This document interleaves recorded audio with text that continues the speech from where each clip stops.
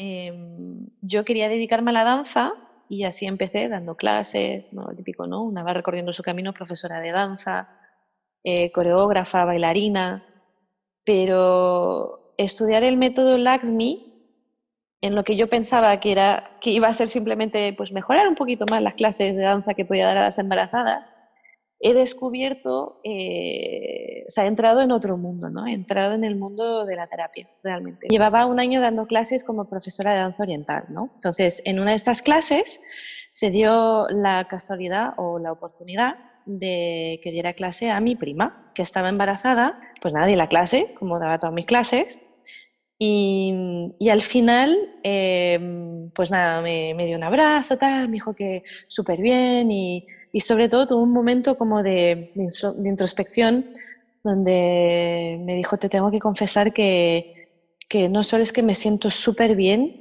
pero me siento como conectada con el bebé y me siento muy relajada y ha dejado de patearme y cuando empecé, cuando llegamos estaba muy tensa, estaba el bebé pues eso, pateándome un montón, muy cansada, tal, y, y siento ahora como una paz y, me siento bien dentro de mi cuerpo y me siento bien emocionalmente, ¿no? Entonces ahí tuve como, bueno, eh, empezó a trotar la idea en mi cabeza de que la danza oriental era mucho más que danza.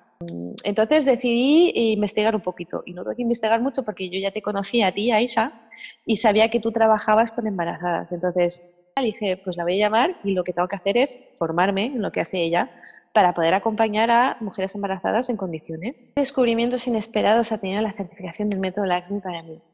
He descubierto quién era. He descubierto lo que amaba profundamente. He descubierto lo que hacía cantar a mi corazón, realmente. Realmente en profundidad y en sinceridad. Eh, he aprendido a perdonarme, he aprendido a, a, sanarme. Eh, he aprendido cómo la pelvis realmente lo que abarca es el palacio de nuestra energía femenina.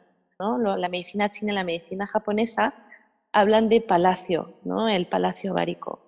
Y es donde, donde se crea la vida y donde se gesta la ilusión de vivir. Lo más profundo que he podido descubrir es cómo realmente eh, no somos solo razonamiento metodológico.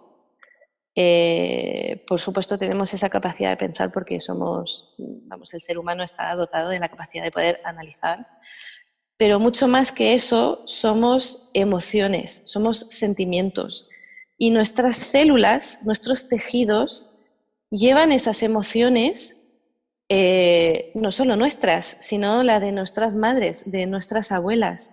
Y yo esto a mí me lo contaba y decía, sí, sí, sí, claro, rollo hippie.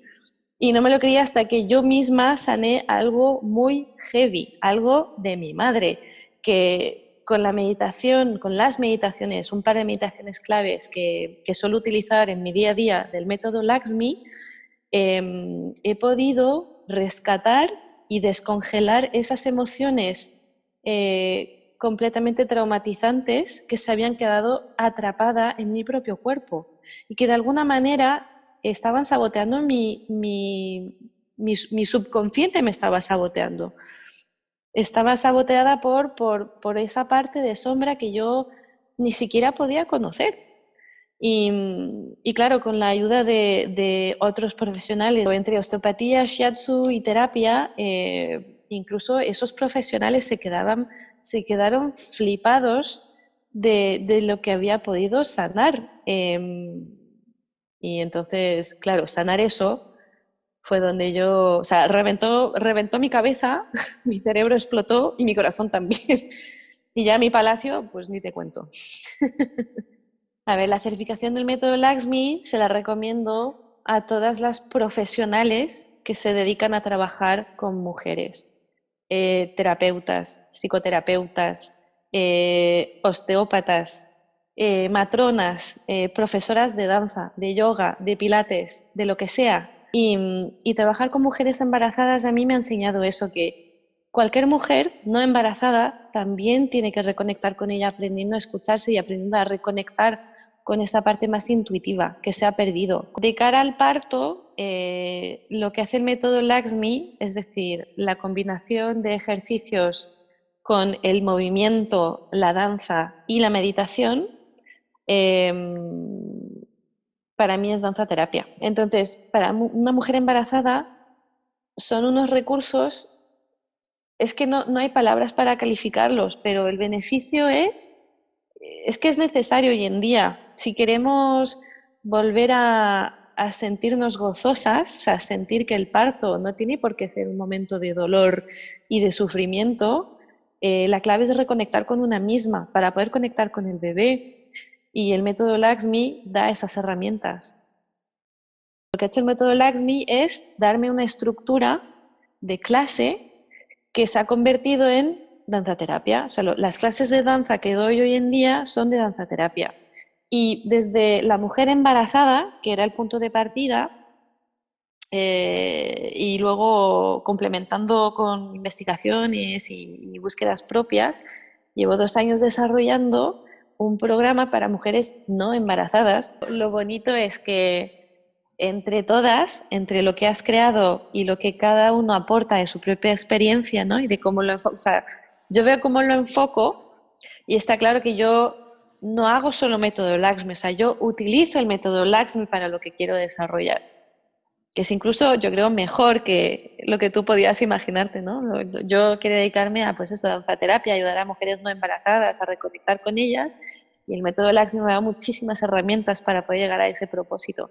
Y me ha permitido ser creativa, me ha permitido yo, dentro de eso, eh, crear mis propios ejercicios. Y eso es lo bonito, es que no es un método que esté cerrado, ¿sabes? Em, así que yo te doy las gracias a ti por, por haberlo creado y por haberlo investigado, porque, porque creo que estamos empezando un camino muy bonito para ayudar a más mujeres y lo necesitamos.